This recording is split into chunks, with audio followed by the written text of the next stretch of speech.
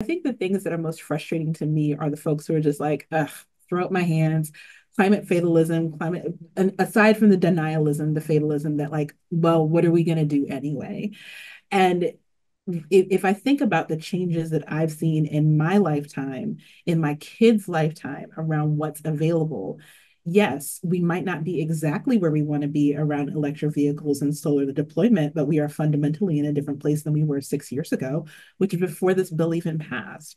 And so if we are trying to get people to focus not just on the short term and the disappointments that they feel in the long term, uh, short term, but the long term, and how the arc of time is there, there are things that are fundamentally changing.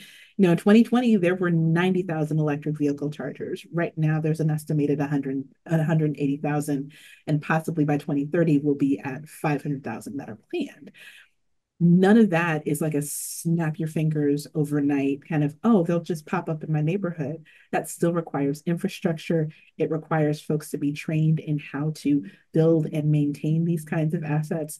It requires that like there actually be siting and permitting as it relates to renewable energy. Like there's so much that it requires.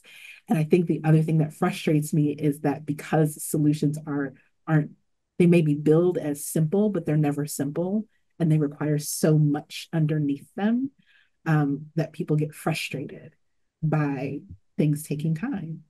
But yeah. that's how you learn, that's how you grow. Things take time.